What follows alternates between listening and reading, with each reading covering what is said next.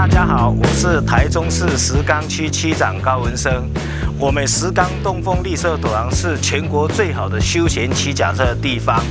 我们在林丹夜台呢，来呈现三个不一样的，一些也就是我们用三 D 彩绘，就互动式的，让游客留下美好的回忆。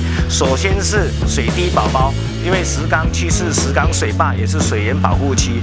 第二个，我们用五分车穿墙呢，来呈现以前我们石冈区是五分车的转运站，以及我们受过九二一重创，当然现在已经有复建完毕了啊。第三个就是一个石冈的景点。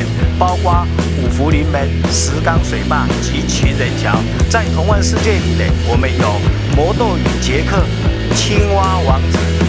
及我们的那个糖果屋，就是巫婆与糖果屋。在卖火柴的小女孩，一个另外一个就是百年杨桃，我们用狼来的杨桃来呈现。